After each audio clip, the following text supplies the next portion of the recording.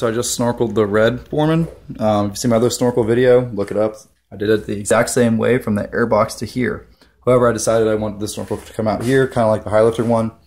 I am going to sacrifice some rack space, but um, I didn't want to cut a hole in this black piece of plastic because it's much more expensive than this little quarter pieces. I think it does look cool there, but just let me make it higher. And yeah, I want to do something different because I've already done it that way. So like my other video, from the airbox to the cylinder is exactly the same. From here, it's a little different. So that's a rubber coupler, 22.5 street, uh, 14 inch piece of pipe. It goes up there. And you want your pipe to cross right in this groove. Because that way the body panel will fit around it. If you have the pipe any lower, the body panel is going to hit it and you have to trim your, your side cover.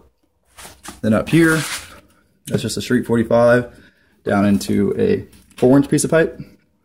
And as you can see, it fits really close up to the gas tank, which should let my Catvos bracket, which brings my shock mount out to about, to about here, um, should clear the snorkel. Might have to trim the bracket a little bit, but no big deal. My vent lines, like in the other video. Yeah, it looks really clean from outside the bike. Unless you knew what you're looking for, you can't even see it. It doesn't come out here and hang down all low or anything stupid.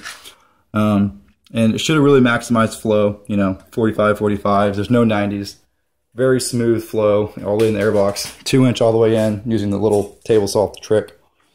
Should keep the flow somewhat laminar. And uh, losing a little bit of rack space, not too bad. Not as much as you lose with the high lifter. Um, try to put as far back as I could. But I, like I said, I didn't want to cut a hole in this plastic because that plastic is expensive as crap.